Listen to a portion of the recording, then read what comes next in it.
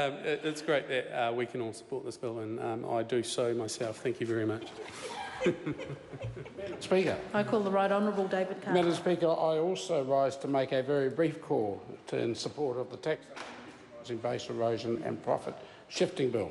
Can I start by commenting on the previous speaker, Fletcher Tabuteau, and uh, say that the longer you spend in the House, the more interesting it gets to know your colleagues, be them from another party. But here is a man who must lead a very dull life indeed if he gets excited by this legislation.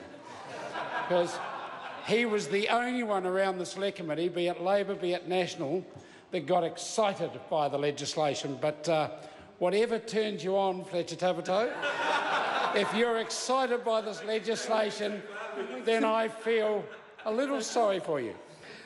Can I say that, um, unlike the chair of the committee, Michael Wood, who I must say did a very good job in chairing it, I don't need 10 minutes to explain National's position on this legislation. But can I also, for a point of view of protecting Labor's image in this case, is note that this is not a new tax. For a government that uh, campaigned throughout the campaign on no new taxes that, and is now introduced, I think it's up to seven, this is not a new tax. Fletcher Tabuteau was quite right in suggesting that this was very good work done by the former national-led government. And in fact, the history of this legislation is quite interesting. It goes back to sort of 2011, 2012, when most of the developed world realised there was a real trouble, a real problem with multinationals managing the tax system to their advantage and in fact not paying fair tax in any country in which they operated.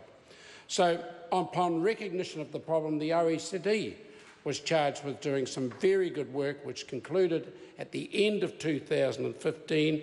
In response to that, 2016, the then national-led government introduces this legislation and takes it through into the House to the Select Committee. And of course, with a change of government, it's now the role of the Labor New Zealand First government to complete this process. The tax legislation that's before the House tonight is by nature very complex, and it has to be. Um, this issue is uh, one where some very sharp tax lawyers work for the multinationals.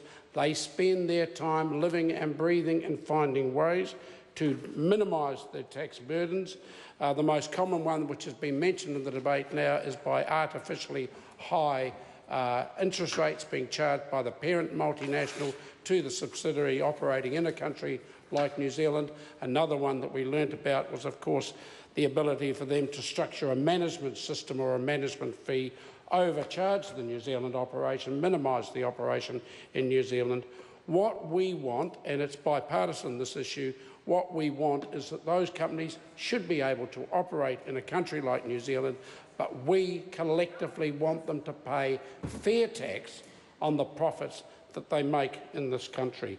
There was talk uh, about quite an important change which we made, and it really at the instigation from memory and the discussion from Dr Deborah Russell. The IRD wanted the ability to go back seven years and suddenly start an investigation into a multinational we did not think that was fair. We think there should be uh, an alert from the IRD to the particular multinational of, of an issue within a four-year four time frame, and that that then may then drift on for a further three years. But it was unreasonable for us to suddenly have IRD raising it an issue after three years, uh, after sorry, after seven years.